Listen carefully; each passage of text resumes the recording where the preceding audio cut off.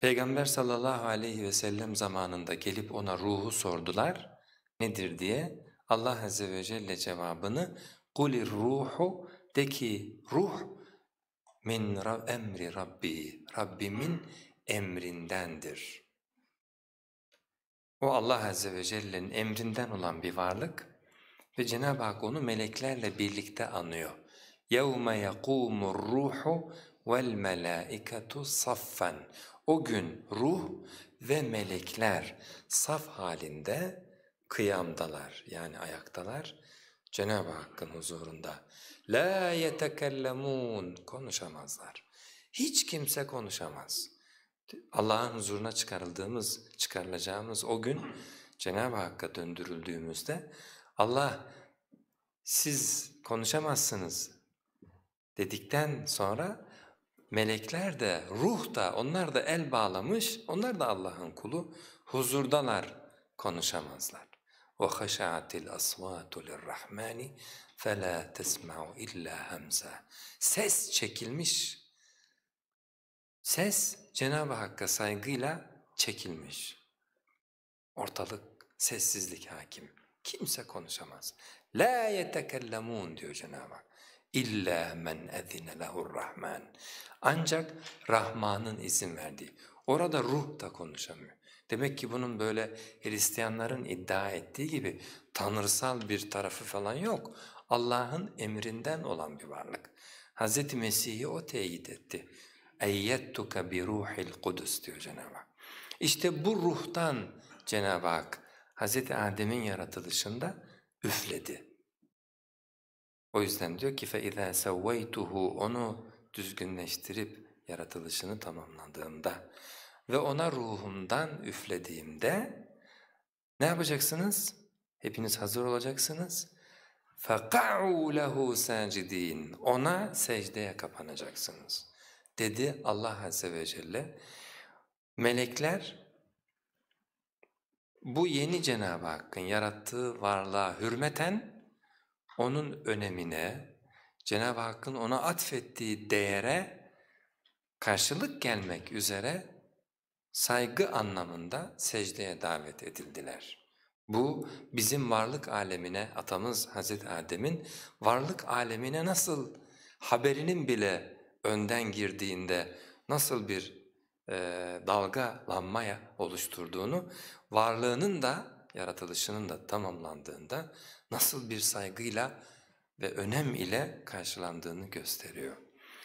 Allah Azze ve Celle'nin ruhtan Hazreti Adem'e üflemesi, buradaki bu noktayı demin bahsettiğimiz yerde de görüyoruz. Hz. Meryem'in yanına gelen ruh, Hz. Meryem'e o tertemiz çocuğu nasıl bahşetti?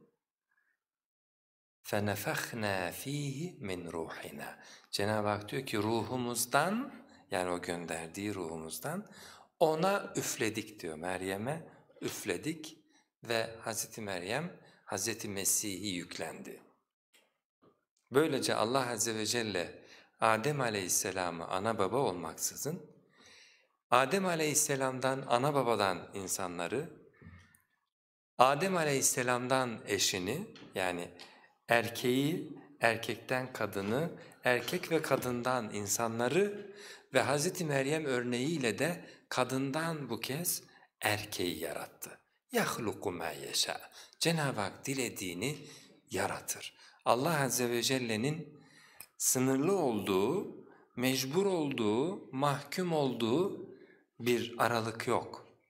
Yani bunu yapar ama işte şurada tıkanır, onu ancak bu şekilde yapabiliyor. Aklen de bu böyle. Çünkü Cenab-ı Hak var her türlü varlığın yaratıcısıysa o zaman her türlü varlığa giydirdiği özellikleri de o yaratmış olmalıdır. Şu halde her şey onun açısından değişkendir. Biz bir şey alıyoruz, bazı şeyler değişken, bazı şeyler sabit değiştiremiyorsunuz. Siz o sabit olanlara mecbursunuz. Bizim içinde bulunduğumuz alemde de öyle.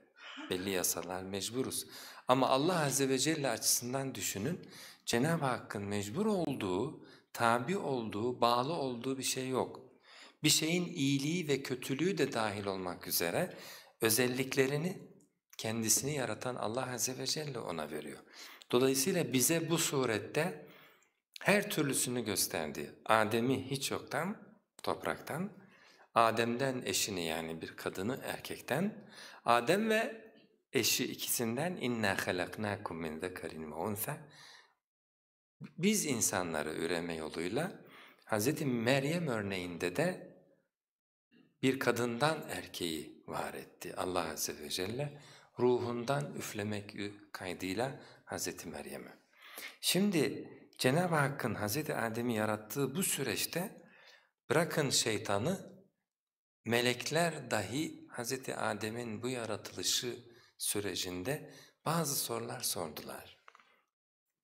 Bu son derece özgün irade sahibi varlık niçin ya Rabbi dediler.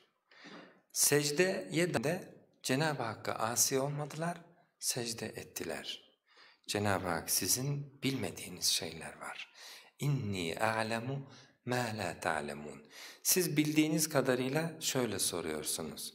Bu irade sahibi varlık yeryüzünde iradesi olduğuna göre yanlış şeyler yapabilir. Bir başkasını katledebilir, bir başkasının malını çalabilir, başkasına yanlış yapabilir. Allah Azze ve Celle'ye karşı yanlış yapabilir, ona saygı göstermeyebilir. Halbuki biz sana saygı gösteriyor. وَنَحْنُ نُسَبِّحُ بِحَمْدِكَ وَنُقَدِّسُ لَكَ Seni hamd ile takdis ediyor, yüceltiyoruz. Bu varlık ne için? Cenab-ı Hak dedi ki inni a'lemu مَا لَا تَعْلَمُونَ Ben sizin bilmediklerinizi biliyorum. Demek ki çocuk bildiği kadarıyla bize soru yöneltirse, sorusunun bilmediklerinden kaynaklandığını biliyor isek şayet, ona öğreneceksin yavrum, onları da öğreneceksin. Şu an bildiğin kadarıyla bir istifham oluştu sende, olabilir. Çünkü sınırlı bir bilgiyle bu soruyu soruyorsun. Ama senin bilmediğin şeyler var. Onları da öğrendiğin zaman sorunun cevabıyla buluşacaksın. Cenab-ı Hak onları sorunun cevabıyla buluşturacağı bir başka sahneye öteledi. Fakat bu arada yani meleklerin bile böyle soru sorduğu bir varlığın torunları olarak bizler Allah Azze ve Celle'nin meleklerin arasına karışmış, bunun oradaki yani şeytanın oradaki varlığı cinler arasından yüksele yüksele çünkü kâne minel cinni diyor Cenab-ı Hak. Aslı cinlerdendi. Kâne minel cinni Cinlerden idi. Meleklerin arasında meleklere gelen bu secde emrine o da muhatap oldu ve o kalabalığın içerisinde ne var ki secde etmedi. قَالَ اَنَا خَيْرٌ مِّنْ Dedi ki ben ondan daha hayırlıyım. Bu bizim bugün konuştuğumuz varlığın düşmanlığının veya kıskançlığının başladığı ilk sahne. Dedi ki ben ondan hayırlıyım. halaktahu min salsalim min hamain mesnun. Onu balçıktan, çamurdan kurumuş, şekillenmiş bir varlık olarak yarattın. Onu topraktan yarattın. Bense ateştenim. Ma yekunu li. Benim için ona secde etmek uygun düşmez. Bu yeni gelen kardeşin önceki kardeş tarafından kıskanılması gibi bir şey. Yani anlamak adına duygusunu söylüyorum. Cenab-ı Hak ona bu yaptığının yanlış olduğunu söyledi. Tıpkı bilahare yanlış yapan Hazreti Adem'e yaptığının yanlış olduğunu söylemesi gibi. Hazreti Adem yaptığı yanlıştan geri döndü, ben yanlış yaptım, haksızlık ettim kendime, sana saygı göstermeliydim dedi. Ama şeytan hayır senin bu emrin doğru değil, ben böyle bir varlığa secde etmek durumunda değilim, sen kendi emrini dön gözden geçir dedi. Şeytanın doğumu adeta bizim düşmanımızın ortaya çıkışı, Cenab-ı Hakk'a diklenmesi ve büyüklenmesi. Eba ve istekbara emri yerine getirmekten uzak durdu, kaçındı.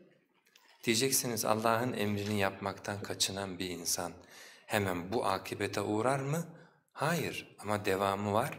وَاسْتَكْبَرَ Ve büyüklendi. Yani ben bunu yapmayacağım dedi. Ne kadar beklersen bekle. Bu emrin senin doğru değil. Benim gibi varlığa şuna اَرَأَيْتَكَ هَذَا الَّذ۪ي كَرَّمْتَ عَلَيَّ Şu bana üstün tuttuğuna bak. اَرَأَيْتَكَ هَذَا الَّذ۪ي كَرَّمْتَ عَلَيَّ Bu öyle aşağılayıcı bir ifade ki şu bana üstün tuttuğuna bak. Ben buna secde edecektim. lem ekun li escuda li beşerin halaktahu min salsalin min hame'in mesnun. Topraktan, balçıktan yarattığım bir varlığa secde edecek değildim. Bu emrin doğru değil, yanlış bir buyrukta bulunuyorsun diye emri refüze etti. İşte bir kulun Cenab-ı Hak karşısında bittiği an bu. Yani bizim için de aynı süreç geçerli.